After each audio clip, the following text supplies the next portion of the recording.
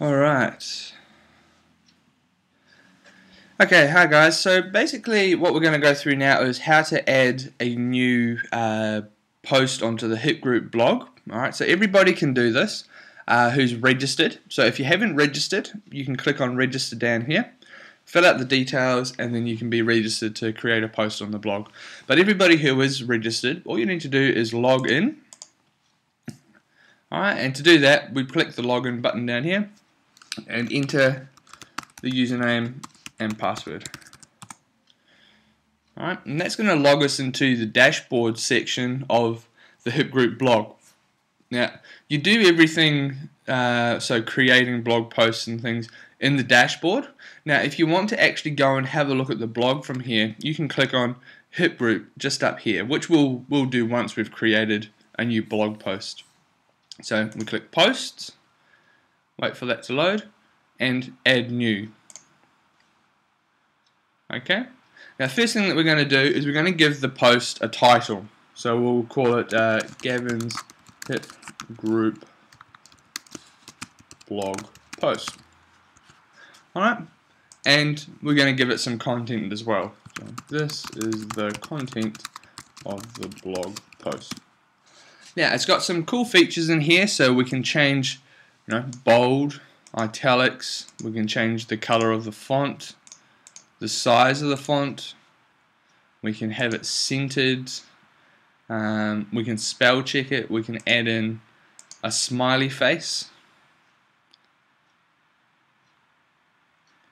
Let these load up.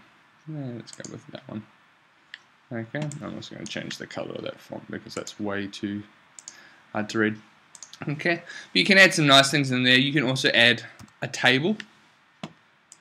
Alright, so if you want to, to group information up into a table, how many columns, how many rows. Alright, so information 1.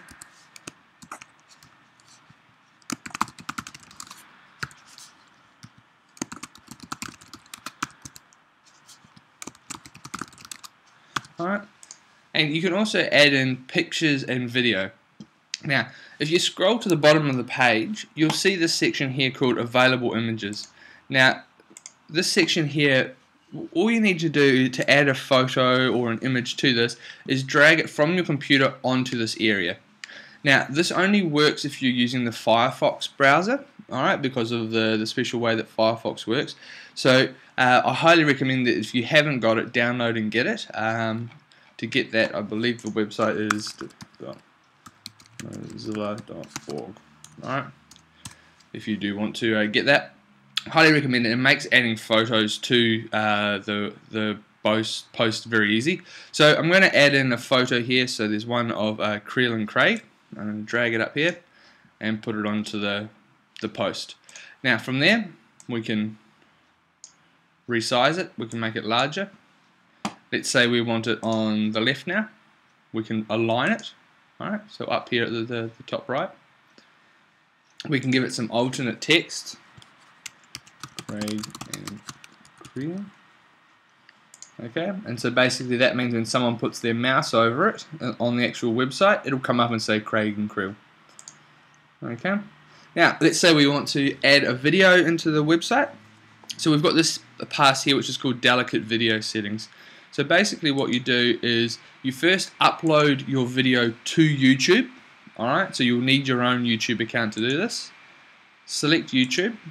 And when you go to the video, you just copy this last little bit out of the, of the, the YouTube video and paste it up here. Alright, so I'm going to do another video to show you how to do that shortly. Alright, so now that you've actually created um, the, the post, and let's say this is the post we want to do, you come over here and you've got to select the category it goes in. Alright, so there's a bunch of different categories, functions and events, lifestyles, promotions, recognitions and training.